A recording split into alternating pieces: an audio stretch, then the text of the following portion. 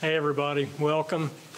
I'm Tom Chandler, I'm Dean of the Arnold School. I think I know most of the folks in here today. Thank you for coming out on a lovely afternoon where I guess you could be doing something not uh, more important than this, but certainly something else. But uh, thanks for coming out.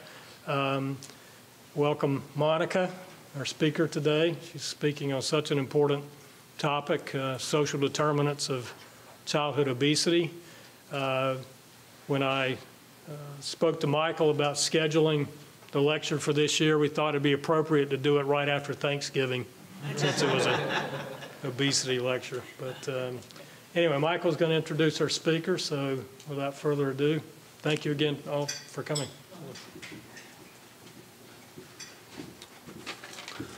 So first of all, I'd like to thank everybody for coming out for our third annual Norman J, uh, Gerry Sue and Norman J. Arnold Childhood Obesity Lecture Series.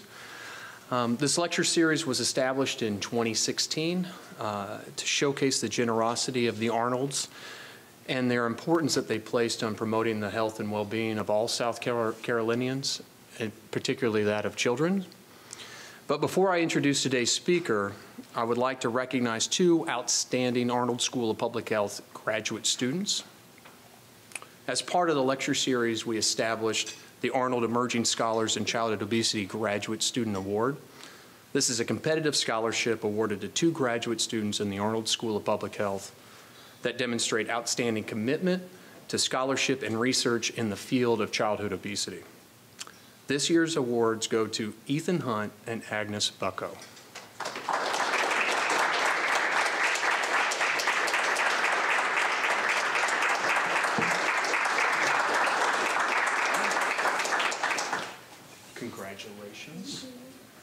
On behalf of the Arnolds and the faculty, we uh, thank you for your dedication to the area of childhood obesity, and we look forward to having both of you as colleagues in the not too distant future. So our speaker today, Dr. Monica Baskin, holds many titles, as you can see. She is the professor of preventive medicine, the vice chair for culture and diversity in the Department of Medicine at the University of Alabama at Birmingham School of Medicine. She is also the newly appointed Associate Director for Community Outreach and Engagement at the, at the UAB Comprehensive Cancer Center. And she holds a secondary faculty appointment in the Department of Nutrition Science in the UAB School of Health Professions. She's a licensed psychologist by training, whose research focuses on minority health and health disparities. She has led an extensive research program using community-based participatory methods to reduce health disparities in the Deep South by addressing individual, family, and environmental factors associated with obesity and related chronic conditions across the lifespan. And as I am sure that many of you who have already met with or know Monica, she's just a fantastic person as well. Today she's going to be presenting on understanding and addressing the social determinants of childhood obesity. So please help me welcome our speaker, Dr. Monica Baskin.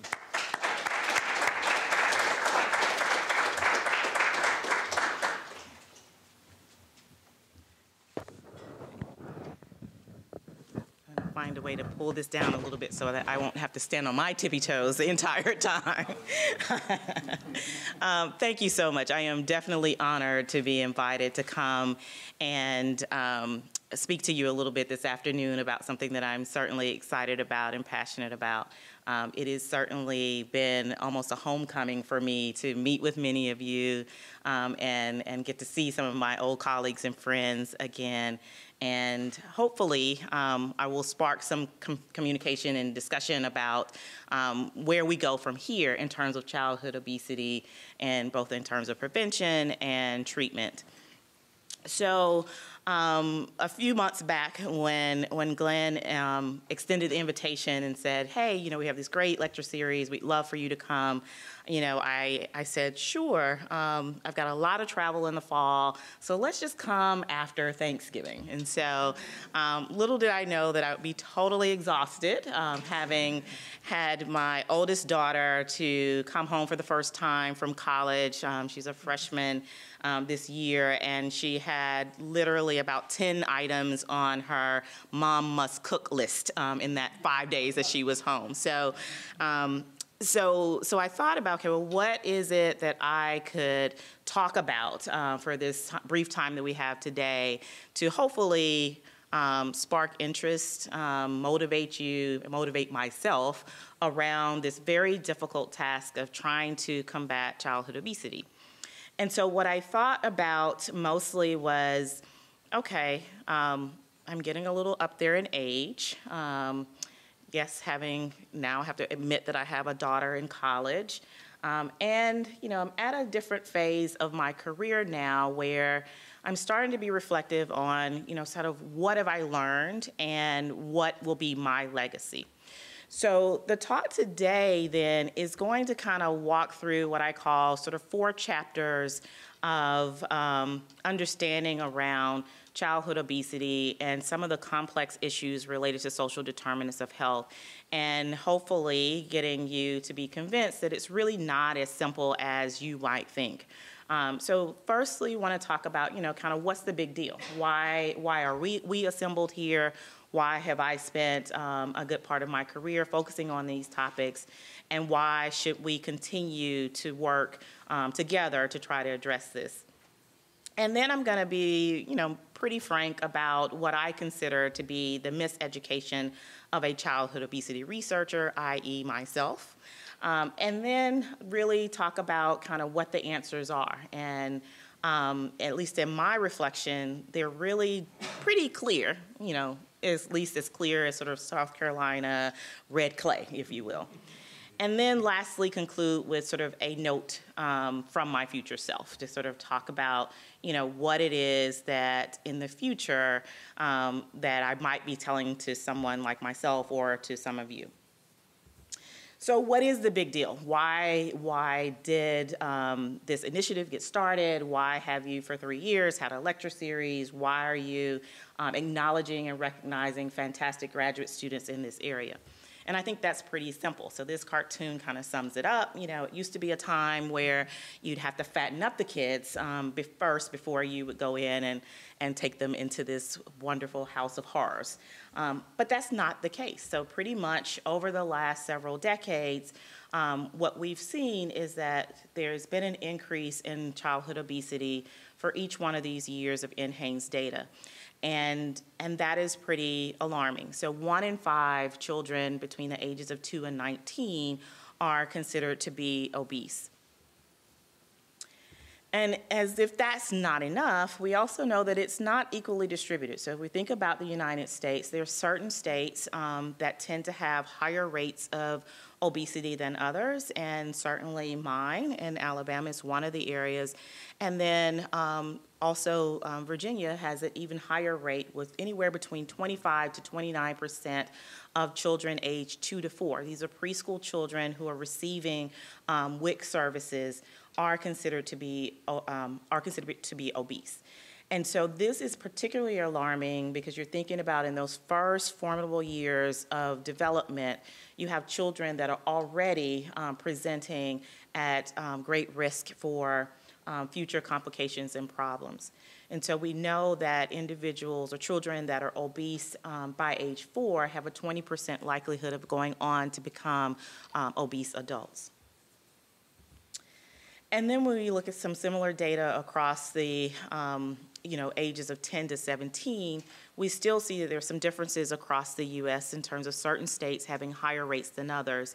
And a saying that we have um, quite often in Alabama, we say, thank God for Mississippi, um, because we don't look, okay. Um, so, so we don't look quite as bad often when we look at health issues um, when we compare ourselves. But, but certainly there's, you know, all jokes aside, it's certainly nothing to be laughed at to have 25 to 29 percent of all 10 to 17 year olds um, in the state of Mississippi being um, considered to be obese. And beyond sort of the differences by state, we also know that there are differences um, by sex and age as well. So this is a chart looking at um, the total population of two to, nine, two to 19 year olds, as well as um, separated out by girls versus boys, and in the various age groupings. So we see across the board that um, on average, um, boys who are age 6 to 11 have higher rates of obesity um, than girls, and then there's probably about an equal rate of overweight and uh, of obesity, excuse me, for um, girls and boys at um, the highest range of adolescence. But more striking dif- differences are seen here in this table looking at 2 to 19 year olds um, stratified by sex and race. And so non Hispanic um, black girls um, have higher rates or the highest rates of obesity, and Hispanic boys have higher rates of obesity, looking at this data from 2015 to 2016. So across the board, whether or not it's gender or sex, rather, um, geographic region and racial, um, ethnic differences, we see that there are some disparities in terms of who is more likely to be over- overweight and obese. So beyond those things that are not really changeable, your sex, your race and ethnicity, and um, your age group, there are a couple of other things that are more considered to be more modifiable that where we see also see some disparities. So if you are a child that is born um, to parents who have um, achieved a college degree, you're much less likely than a child who has family members or parents who did not have a high school diploma to be obese. In addition, we know that obesity rates for girls ages 10 to 17 who are in lower socioeconomic circumstances um, have rates of obesity that are high as, as high as um, almost 36%. And so certainly um, educational attainment, socioeconomic status are some of those social determinants um, that really have an influence over who is overweight and who is obese. And if that wasn't quite enough to tell you the story, this is probably the most compelling reason for why um, childhood obesity is a big deal. So there are a myriad of different health problems and consequences, um, just specifically in childhood, that are associated with childhood obesity. So that's asthma, high cholesterol, high blood pressure, um, abnormal glucose tolerance, fatty liver um, disease, orthopedic problems, psychosocial problems, sleep apnea, type 2 diabetes, bullying, a host of other things that we know are associated with childhood obesity.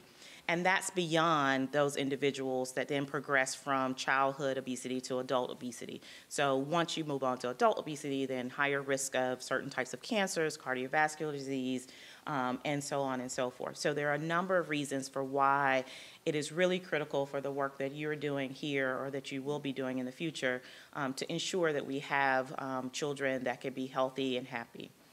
Um, and if that is not as compelling, um, then there's certainly a financial cost also associated with higher rates of childhood obesity. So it's estimated to be um, about uh, cost about $14 billion annually in just direct health expenses associated with childhood obesity.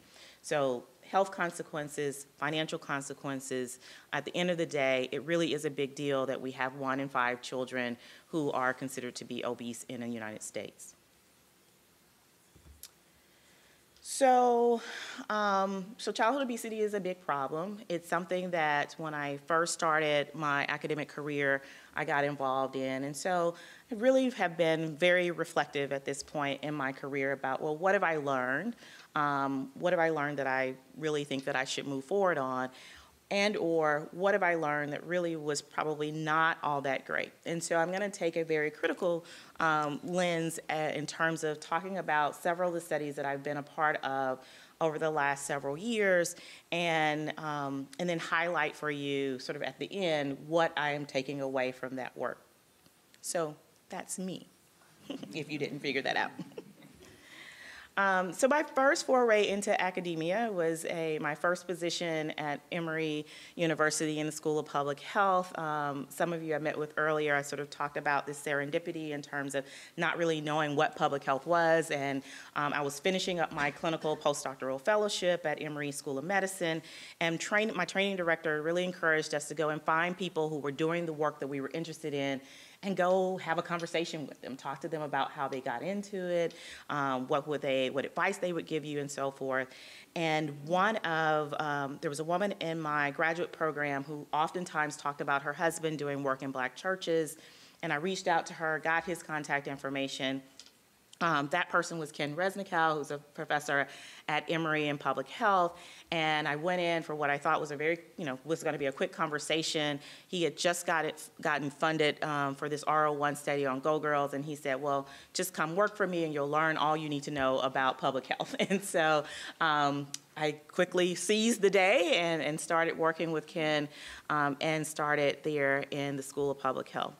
So this study, Go Girls, which is a program um, focused on overweight African American adolescent females, was the second of his major trials in this population. So the first trial was Go Girls 1, as he called it, um, and it really focused on low-income African American girls in Atlanta um, living in housing projects. So really trying to go to low resource, um, where the population issues are, and did this intervention. And at the end of the day, they really didn't see a whole lot that was coming out of it. Um, and, and part of the challenge was that it was difficult because there were all these competing issues with people in housing projects and lower incomes. They couldn't purchase the food. They had difficulty, um, um, parents had difficulty managing other children and childcare and so on and so forth.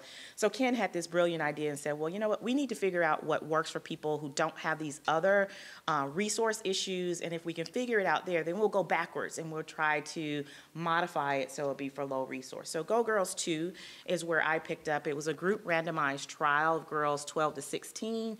Um, they had a BMI of the 90th percentile for age.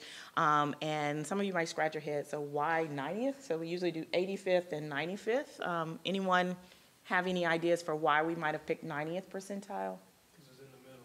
it's in the middle. So, so people who don't like to make decisions, we just gotta we kind of go in the middle, but not not quite anything else.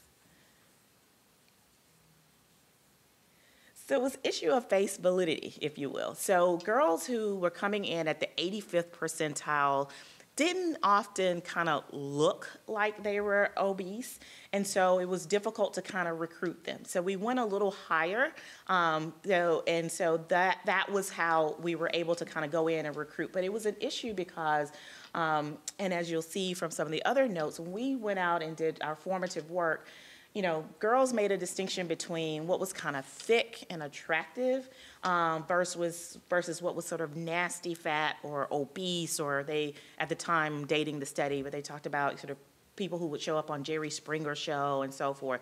So, so it was really difficult to get girls in that were a little more shapely um, to come into a trial that we were talking about managing their weight um, than it was for girls who looked a little bit heavier. So we went with the 90th percentile and also went with um, a church-based kind of study. So we recruited from within the churches and um, did so for a number of reasons. Uh, one, that you know the church in the African American community has been a staple around health promotion, so that was one issue. The other one was um, if you've ever been to one of the larger middle and upper income black churches in Atlanta, you would see that they have tremendous resources. So the churches that we partnered with have, you know, full scale kitchens and gymnasiums and all kinds of things that we could um, make good use of. And they were oftentimes not being utilized during the week other than on Wednesday Bible study. So um, chose to work with that um, community-based organizations um, those community-based organizations with this. And so, um, like I said, the formative work, parents really struggle. They said, you know, it's difficult for us to have these conversations with our African-American adolescent girls. It's tough to buy clothes. Um, you know, I really think it's not a big deal. She's big boned. You know, she's going to grow out of it. These were some of the things that, that we were hearing. And then the girls also talked about, in addition to sort of the differences in the body types, they talked about, well, we really don't want to exercise a whole lot because it's going to be really difficult for us to manage our hair. So we, you know, designed this trial. Um, so for six months, um, girls came in to either a high intensity intervention or a moderate intensity intervention. The high intensity intervention um, involved weekly sessions for girls and every other week for their, their parent. Typically, it was their mother. Um, the moderate intensity was coming in on a monthly basis for girls and every other month for parents. Um, and anyone want to take a venture as to why we did not have a no treatment control group?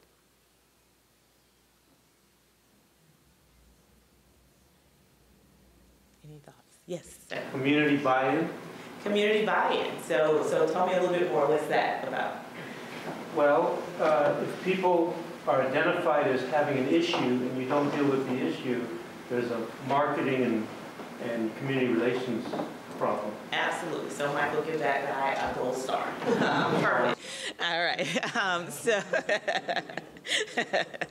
um, absolutely. So these were community-based, uh, participatory research trials, and when we went out uh, originally, it's not that we aren't good scientists. We know that the the gold standard is a no treatment or uh, control group. But when we went out to have partnerships with um, these, um, you know, church leaders, they said, "Well, we know that there's a problem in childhood obesity. You've already told us there's a problem, and you told us that you think that you might know some ways to address this. So we're not going to be randomized for not getting something to help our kids." And so we went with a um, a trial then that sort of looked at two different interventions, thinking that you know once a month people aren't going to show up, they're not going to have a whole lot of intensity, and still thought it would make a difference. So the you know sessions, true to sort of behavioral interventions, there's goal setting, um, identifying what were sort of the high high triggers in terms of caloric intake. Um, there was physical activity within the sessions. There were lots of um, goodies that were given away in terms of token economy. If you did certain things, you got so many points. You were able to cash those in for certain rewards. And then we also had a chef that prepared meals um, and gave out recipes. So everything you can imagine in terms of a um, intensive intervention to address weight and weight management in these adolescent girls. So just highlighting a couple of things um, in terms of you know what we said about this work. So one of the earlier papers was just sort of talking about how do you design these interventions, and here are a couple of quotes from from this particular paper. So. In developing interventions for African Americans, it's important to keep in mind positive aspects of black culture as they relate to obesity. And this came up because more and more we started seeing lots in the literature that sort of talks about a deficit model. So people who are less than, they don't have, there are disparities and so forth. And so we thought that it was really important to come from a asset model and a, a period of strength, particularly in working in these community-based settings. And then we also said, you know, how best to achieve a reduction in obesity and its medical consequences without inducing undesirable shifts in body image and attitudes towards food is a formidable but important challenge. Yeah, isn't that hard to do? So what we found was that it was really tough. So when we did get people to say, yeah, obesity, childhood obesity is not a good thing. Um, you have higher risk of all this. But when we had parents say, but you know, I don't really want to tell her that she's overweight. I don't really want to have these issues. Here's my African American daughter who is already getting negative feedback from the larger society. I don't want to pile on to that. So we knew going into it, it's really, really tough. We're at one time saying, you know, you know, be, be proud, you know, have a self-confidence, love your body for what it is, but at the same time, we're giving messages saying, um, but you're too heavy, you need to lose weight, you need to do this and so forth. And then the other thing is, at the end of the day, um, the results paper showed intervention was not effective in reducing weight in insignificant ways. So although there were some positive uh, findings among high attenders, um, you know, we really just didn't get that. The statistical difference between the two groups was not there, and the overall change from pre to post was very minimal, only about a 0.5 BMI change from the beginning to the end, um, initial weight loss at six months, and then following up one year later. Um, but true to the miseducation, we always add this in. But, you know, it was likely because of the dose. You know, if we just give them more, they would have done better. So I took from that very poor advice um, and moved on. Um, this was a time when Ken decided he was taking a sabbatical and then eventually went to Michigan. And so I took my talents and went to UAB. And when I got there, I started a trial, this time funded by um, the Association of Schools of Public Health at the time and the MetLife Foundation, and decided, well, it's difficult to work in community settings. Let's find settings where we can find kids that are already captive. They already have PE, they have great food, their cafeterias. Let's do some work in schools and really incorporate what we know. Um, and by the way, we still have this disparity around low income and low resource communities, so let's focus there. So this was a um, really a pilot study that we had um, in a single middle school in a low resource community in Birmingham. Um, It really started and coincided with some of the new um, school food policies in terms of getting out all the fryers and putting in baked and, you know, lowering the calories and the salt and sugars and so forth. So when we approached the school system, they were, you know, all welcome to come in and said, "We- you know, we've got this program, we think is going to help. And so we, we move forward with that. Um, we talked to the nutrition specialists in our formative work as well, talked to them about what are the new policies, how they feel about them, what could they do to support healthy eating um, within the school. And they said, you know, yeah, come on in, you know, we, we think the policy's okay, um, but we'll just let you know, kids are gonna eat what they're gonna eat. They're really not gonna eat that, and we're really concerned that they're just gonna waste it. Um, but if you wanna come, you know, go ahead and come. We also talked to them um, a little bit about, well, what's gonna, what, what could make it successful? And they said, well, you know, really, you're doing a great thing coming into the school system, but it's the parents that you need to work with. And then lastly, the teachers and administrators, when we talked to them ahead of time, again, they were very welcoming of the project, but they kind of said, you know, but we don't have a lot of teachers, we don't have a lot of resources. Uh, we see this as an added resource, but we just want to give you caution. And so we forged ahead with the Eat Smart, Be Smart project and um, implemented that. Where we did similar kinds of things, we, we incorporated health messages onto the bulletin boards, incorporated into a health education class um, that met once a week, um, and we had more intensive physical activity, trained the PE teachers to do more to get kids up and off the bleachers and be more physically active um, through, throughout their PE classes.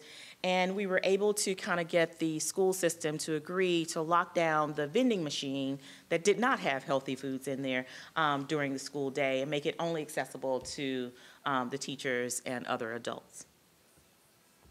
But again, we came um, to our conclusions, which was, you know, it was received positively, positively, you know, just like they said, you know, we welcome the program, we'll love it. Um, but it was really difficult to implement. And some of the challenges had to do with classroom management. So these were low resource schools within the public system within Birmingham. And PE classes would literally have anywhere from 60 to 80 individuals in a small gymnasium with very minimal equipment. And so if um, for those of you who work in school systems that are similar to that, you can imagine what typically would happen is that the boys were, a, select group of the boys were playing basketball or something.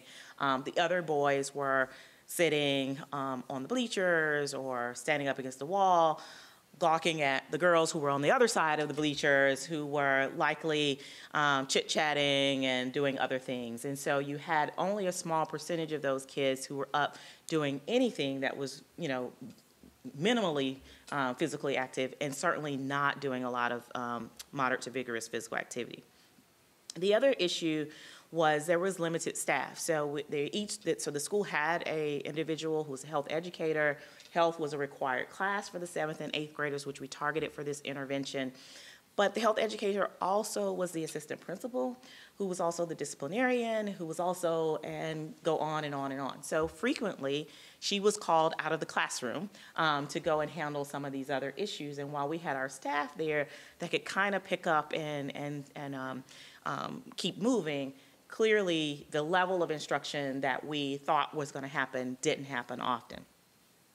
And then the idea of the parents. So we had a wonderful plan. There were scheduled parent-teacher conferences and um, PTO meetings that were happening. And so we were infusing information into those meetings. But lo and behold, even though we brought in lots of food, um, only a handful of parents would show up every time. So their involvement was quite limited. So at the end of the day, you know, we didn't deliver the intervention um, in nearly as intensive way as we thought. And so we didn't really see anything shift um, in that school year that we were there in that school. And so, you know, it was a pilot study in a single school, so there's limited generalizability, even if we did find anything. But we knew that, you know, again, school-based programs can support nutrition education and increase physical activity, and we certainly wrote about that when we wrote up the results. And just not to just pick on the studies that I've done, we also did a, uh, a systematic review. We sort of looked at school-based interventions and published this paper where we just sort of talked about, you know, is it just another brick in the wall or really is there something out there in school-based interventions? And what we concluded is that, you know, the beneficial effects of existing school-based interventions at the time um, were really rather small. Um, and many of them, when people went to go replicate them, could not actually get the findings that the original study found. Um, but, you know, of course, we're optimistic, but still, you know, we think they could be helpful. Uh, We're still putting that message out there. Um, so go ahead and do it, even though we've we've said they don't really work. You know, we're really pushing you to do that. Um, but we said, you know, these novel kinds of school-based interventions then need to be different. Uh, but rather than spend a whole lot of money in doing the large effic- efficacy trials or effectiveness trials, just keep doing the smaller interventions, the one-offs, um, even though we've just said that they're not generalizable. So again, you can kind of get the miseducation that's there. And then I moved on, and so I said, well, okay, so focus a lot on weight um, and weight management. Let's just tease it apart a little bit. So this was a study funded by the Robert Wood Johnson Foundation, Active Living Research, and I said, you know, let's stop doing interventions. Let's see if we can figure out what the secret sauce is, and then we'll build up the interventions afterwards. So this was a very straightforward study where we were looking at a simple question. So what are the social cultural predictors of moderate to vigorous physical activity among young, adolescents um, living in the Metro Birmingham area? So simple enough. We went out, we gave, um, you know, youth, um, we gave them accelerometers, we did lots of surveys, we kind of went in, um, everything that you can imagine and all the wonderful health behavior models, we kind of threw all of that stuff in. But at the end of the day, the only things that really seemed to be associated with moderate to vigorous physical activity was that if you were female, you're not really getting that active. And that if you had uh, family social support and you had some confidence around doing physical activity, you were more likely to be engaging in moderate to vigorous physical activity.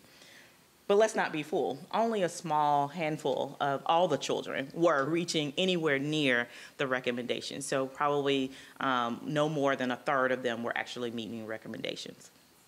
But you know, again, as as wonderful um, scientists who are miseducated, we said, but we still need to get in there. We need to do interventions. We need to tackle those complexities. Um, even though we didn't really find a whole lot, we should still move ahead with these interventions. And so the other thing that we did um, looking at this study was sort of say, well, let's try to think about, well, what are those unique elements? So we, we uh, took a part of the study, a similar cohort, where we tried to tease out, well, what do teens think about what's going to help motivate them to be physically active. So we used a more participatory um, design here using concept mapping, and we had um, adolescent girls and boys to sort of come up with, you know, what are the main issues, and then kind of rate and rank them. So nine themes came of that work. So they talked about, you know, um, what's going to really motivate them to be more physically active is they can be physically active with their friends. Um, they had support from their family and from friends. There are resources in the community in order to do this physical activity. Um, that they got some inspiration uh, from someone, you know, um, an athlete, a school teacher, or somebody they admired really encouraged them to do the, uh, to be physically active. If there were things in their daily routine that it just kind of happened all, you know, anyway, they were more likely to do it. So if they had to do chores, um, and then they talked about the pressure from their social network. So, you know, the team based sports or friends kind of egging each other on to do that. And then also seeing and hearing a little bit more about when you're physically inactive, what that does to your body. And so we separated out the data to try to look at the themes, and they were pretty consistent across girls and boys. The only exception was that for girls, having that pressure from their social networks was even more important than it was for, for boys. And so again, we conclude, hey, there's some clear patterns there. Um, we should go at it. You know, even though we don't know exactly what they are, um, they may be differential here. Um, but but again, we concluded, keep forging ahead. And so we did. So looked at sort of the individual behavior, um, looked at, um, teased out the physical activity piece. And so we said, well, what about the food environment? You know, what's happening there? So this was a series of a couple of um, subcontracts that I had through the African American Collaborative, Collaborative Obesity Research Network, funded by the Robert Wood Johnson Foundation, and sort of targeted two kind of questions. So one was about, you know, what are the caregivers of these younger children, three to 11? Um, what do they think is really relevant to the food environment and contributing to excess calorie intake? And then the other one, because we wanted to move into action at some point, was you know, could we start framing this issue around targeted marketing as a social justice issue? So we're focusing on African Americans. We're in Birmingham, Alabama, uh, you know, sort of certainly one of the birthplaces of lots of things around social justice and civil rights. Um, could we start framing that? So that was kind of what we were focusing on. And so we, we pull, pooled some of the data with a couple of other sites um, in North Carolina and in Chicago and in California. And collectively, we, um, we published this paper that really just talked about, so what is that element of price? So we started to hear people saying, I'd love to eat more healthy, but it costs so much more to do that. So we looked at this qualitative study, and so price did emerge as a primary influencing factor about eating healthy. Um, but it was not quite as cut and dry. So people said, yeah, but I'll come up with the money if it's really convenient. If, you know, if on the way to soccer practice, um, I can stop by and get this. I'll pay the little extra money and we'll find it. Um, if, the, if they perceived the food to be higher quality, uh, then price wasn't a factor. Um, if they thought it was more healthy or healthful, they would still pay the higher price. And then probably the one that was um, that came up highest was well, it's just the food that my family likes to eat, so we'll do that. So, so while they said cognitively price matters, there were all these other caveats where it didn't really matter if it were some of these other issues. Um, the food pricing strategy that encourage consumptions of healthy foods, you know, may have relevance across this, this population that we were particularly targeting around African Americans. Um, and we did so across education and income levels. Um, so we saw that, and so we said, you know, of course, okay, well, let's keep pushing. Let's keep moving ahead um, and doing this work and just kind of figure out a way to kind of manage this. Um, certainly easier said than done. And then when we had a deep dive just into the Birmingham group, um, we looked at so what what about that social um, justice framework? Could we do that? Um, do parents feel like it is not tolerable for there to be targeted marketing of unhealthy foods in communities that are already reeling with um, higher rates of mortality, mortality and morbidity around a number of issues? So what we found was that parents said, yeah, you know, that's horrible. People should not be targeting um, the, the marketing of these unhealthy foods in our area. It probably does um, contribute to eating more calories than necessary. Mm, but this particular company hires a lot of high school kids or this company sponsors our baseball league or this company does this or that. And so it's kind of okay. So again, no real clear cut message there. Um, so it was very difficult for us to then say, we're going to move ahead.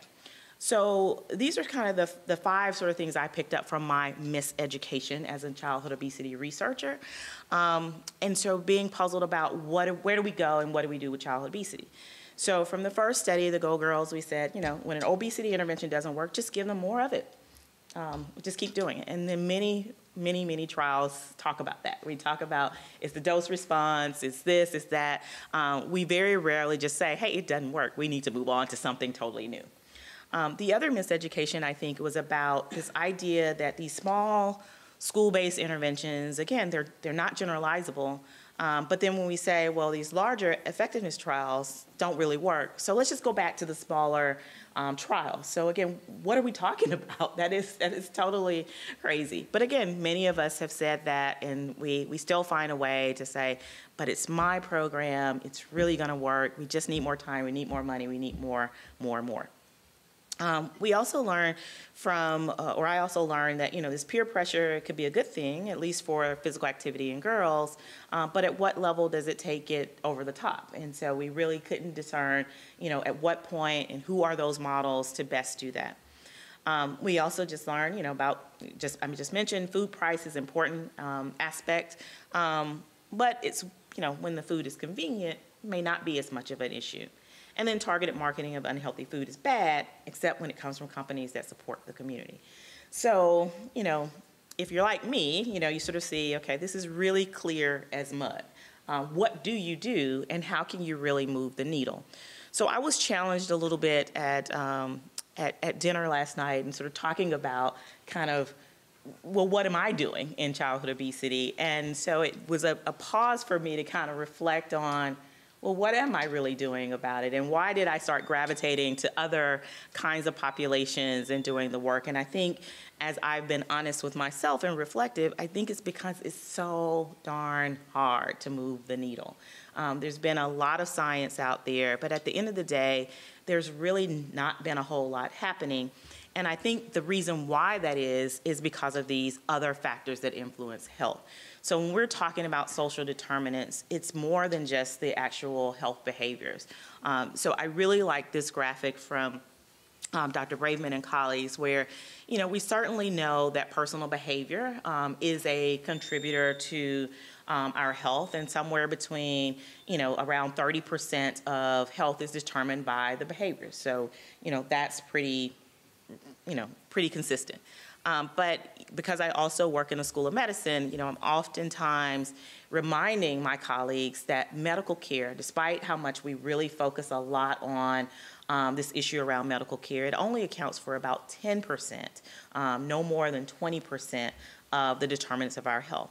So it's those other things out there. It's the, you know, living and working conditions in our homes and communities. It's the economic and social opportunities and resources that at the end of the day, whether or not it's childhood obesity or some other health issue, these are the things that really make or break whether or not somebody is going to be healthy or whether or not they're going to be sick or how early or how late that they um, they they end their life their lives in.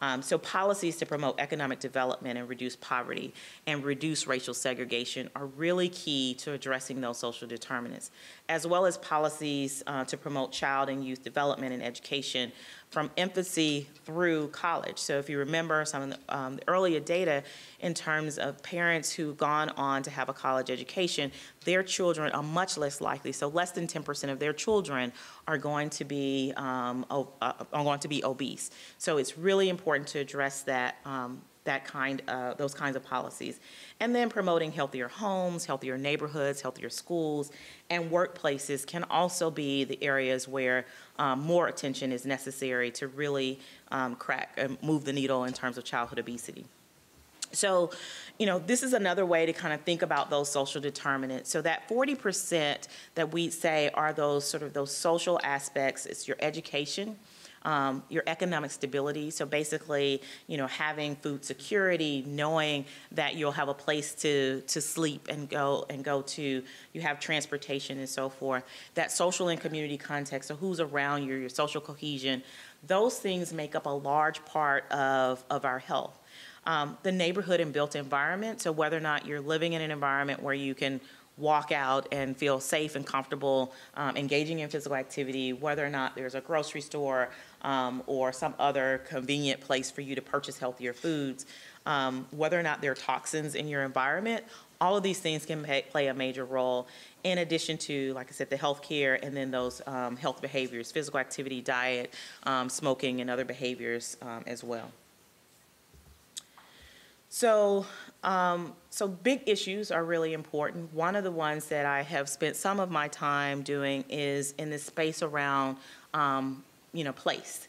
And so many of you have probably heard something like this phrase of your zip code may be as important as your genetic code in predicting your health outcomes and life expectancy.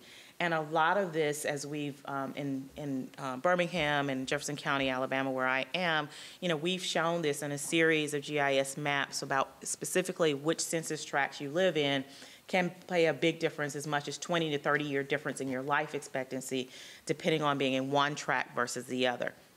And so neighborhood conditions, the schools that you go to, your access to healthy, affordable foods and access to health care, all of those things are really oftentimes relegated in terms of the places where you live, you work, you play, you go to school. And so that has a very long history in the U.S. of determining um, who is wealthy, I mean, who is healthy, who is sick, and who lives longer. And then there's this issue about um, when we do think about policies, there are inequities that exist. So when we try to think about things on the left, there you see we, you know, everybody's the same. We're going to give them all that same um, policy and apply it across the board. That's what we're really fighting for. Um, but if you see the picture on the right, um, it's really more about giving people what they need in order to sustain themselves, to be healthy, and so forth. So the individual who's trying to see the ball game, um, who is extremely tall, didn't even need a box to be able to see the ball game if that was the outcome you were desiring. Um, the the person in the middle there, you know, one box was still not going to be enough. She's still going to be on her tippy toes. Um, like somebody up front, um, but uh, but two boxes would actually give her help her to sit, um, be able to see over the over the top. And then we very rarely think about those individuals um, who may have other kinds of physical or mental health um, disabilities. And so, whether or not you gave this person 10 boxes or not, um, the person in the wheelchair was still not going to be able to see over that fence because what they, in fact, needed was that ramp. So, um, you know, I wouldn't be a public health researcher if I didn't talk about the ecological model. So I'll promote the ecological model um, in terms of one of the ways to think about childhood obesity. So, um, and what we need to do about it. So it, it's a model that assumes that health is a function of multiple environmental subsystems. So it's the individual, it's the family, it's the community, it's the workplace, it's our beliefs and our traditions, it's our economics, our physical environment, and social relationships. These are all very, very important and very complex. So effective childhood obesity prevention and treatment then also must be comprehensive. We can't, is there, there's not a one size fits all kind of a situation. Um, you really need to be comprehensive and think about all of those systems and ideally at once in order to really get um, to meaningful and sustainable change. Um, and then we can't forget uh, um, the, uh, how we need to address the health disparities. Um, you know, we've got different groups depending on where you live in the country, depending on whether uh, you're male or female, what racial ethnic group you belong to. Um, all things are not equal, and therefore our solutions should not be about e um, equal um, opportunities as well. So lastly then, um, here's a note from my future self. Um, so which way are we going um, and so forth. So my future self, um, sort of in retirement, maybe somewhere between 15, 20 years from now, has written me a note and has funneled it back to me here today. And here are a couple of things that are in that. First and foremost, in red letters, we've got to stop filling up those buckets. Um, so, you know, we're focusing on population health and, you know, the traditional model is, you know, we're just kind of scooping out the water. We're totally disregarding the fact that there's a huge hole in that boat. We have hit this iceberg or this big rock um, that is the social determinants. And we have not yet figured a way to either get that out of the way um, and to patch up our boat and move forward. So a lot of what we do in childhood obesity research is kind of the little patchwork. Um, we'll do something here, we're downstream, um, we'll, we'll focus on that, and we're not at all dealing with the root causes of why certain people are um, more prone to be overweight and obese than others. So issues like poverty, issues like economic stability, issues like housing, issues like racial segregation, these are the real core issues that result in the downstream things that we see. My other um, note from my future self is saying to do more impactful research. So part of what I know as I've transitioned to being a more senior scientist, um, it's really important for me to leave a legacy that says um, there's something that's going to be different about when I retire than when I was in this game. Um, so it's not just the fact that I can get you know a couple research projects and fund quality graduate students and and staff. Um, it's something more about well, what are we really learning? What is the innovation? What is the impactful research? So better understanding and addressing the complexities that are there not running and hiding because it is complex, um, but also not sugarcoating. When things don't work, they just don't work. We, you know, it's not going to help to give more of the same bad stuff. We need to think differently. Um, we also want, need to design and implement interventions that, again, tackle the iceberg. So, um, no, as single researchers, we're not going to address poverty. Um, but if we are working collaboratively across multiple sectors, we can have some pretty darn good ideas about what it might take to help people to not live in poverty, to not go through a spiral of um, limited education, limited income, limited ability to lead healthful lives. And then we also need to develop the analytical um, approaches that go along with. So a lot of um, you know, institutes now within NIH are talking about these multi-level interventions, but we haven't yet figured out the analytics for doing that. So I'm, you know, a proponent of, yes, let's do all these things and do them at once, but how do we know which of these things work? So there are some research methods now and approaches like the MOST designs and other things that you can kind of help you figure out which components work and test them out before you put them all together. Uh, but we really need to figure out what are those analytical, analytical approaches to help us tease that out to know whether or not something is really working or not. And then we, once we found, find those wonderful things, we got to find ways to better disseminate and implement, implement those efficacious interventions. Oftentimes, um, as researchers, we, you know, we, we get the grant, we do the work, we get the great publication, we sit it on a shelf, and those people who need the interventions the most never get it. It's never designed for them. Um, so the Go Girls Project was wonderful, uh, but it was never really designed to be implemented on a wide scale. You know, we don't have huge churches on every corner that have gym, full-scale gymnasiums and swimming pools and things like that. Um, we don't have the ability to have a um, master's level dietitian or exercise physiologist to run those programs. So we need to think about programs from the start that can be easily disseminated out to the audiences that need it. And then we've got to help to create healthy futures. So I think starting um, with that young generation, um, thinking about those two to four year olds who are already um, having higher rates of obesity, we've got to start young and we've got to make sure that we are all working collaboratively to have um, healthy futures for um, folks that look like these kids.